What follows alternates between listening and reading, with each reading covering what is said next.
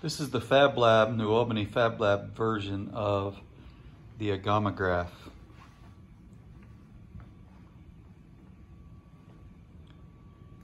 All right, now this, these images I got online, they were public domain, but are fair use and uh, Creative Commons license. But um, as you can see, if I just kind of lay this out, uh, what we did was take a big piece of cardboard and I scored it. So I cut it halfway through so that it would fold and then we get perfect folds out of it. Uh, and then using the laser cutter as well, I cut strips of two different square pictures. Uh, so we had the warm one, uh, and this was 12 by 12, and we had the cool, more landscape view, and this was 12 by 12. And I put that on the laser cutter and cut out strips that uh, were all even.